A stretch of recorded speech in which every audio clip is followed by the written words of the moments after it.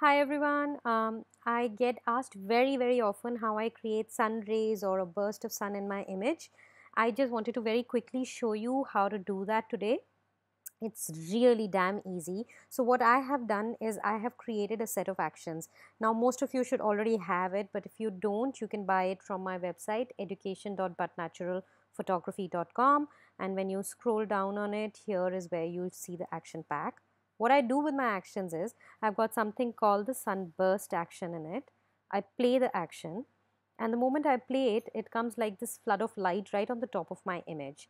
Now all you need to do is go to the layer mask of this uh, sunburst action, select your black brush at 100% opacity and to create like a big beam of light, what you can do is just delete this on either sides and take it off from the face of the subject as well. Let it stay on the rim of the light, it looks nice.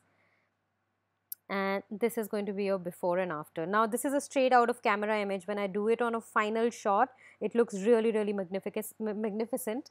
But I just wanted to very quickly show it to you. So here's a quick before and after.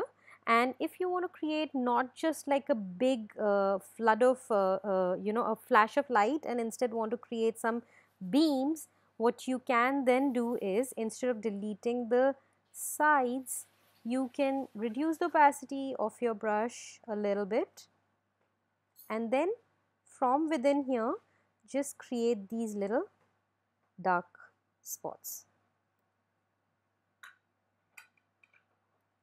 Uh, wait a second.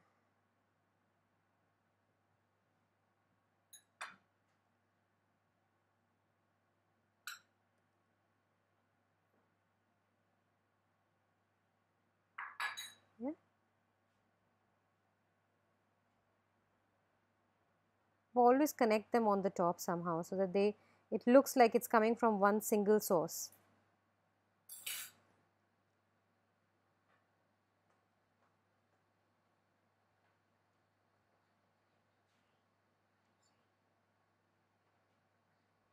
Yep, sorry.